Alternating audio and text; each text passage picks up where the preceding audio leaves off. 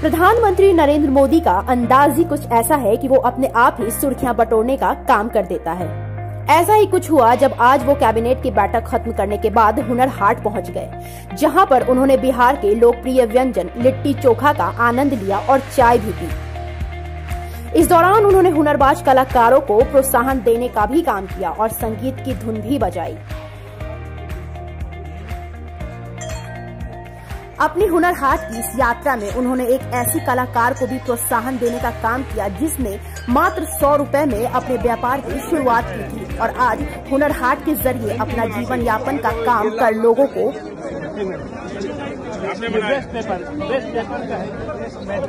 को प्रेरणा देने का भी काम कर रही है। प्रधानमंत्री नरेंद्र मोदी के हुनर हाट के इस अंदाज पर आप क्या कहना चाहेंगे, कमेंट बॉक्स में ज़रूर बताएँ। दोनों एक ही प्रकार से काम करते हूँ। सर कहाँ ट्रेनिंग हुई आपकी? मैंने कोई ट्रेनिंग नहीं की? है अरे खुद से वाह। करती सर और मैंने सीखा नहीं है कहीं से कुछ भी। हाँ।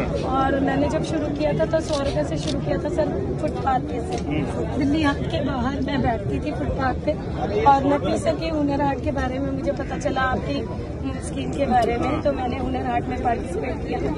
मुझे रेगुलर इन लोगों ने सर लोगों ने अभी कितना बेचती हो? सर मैंने घर खरीद।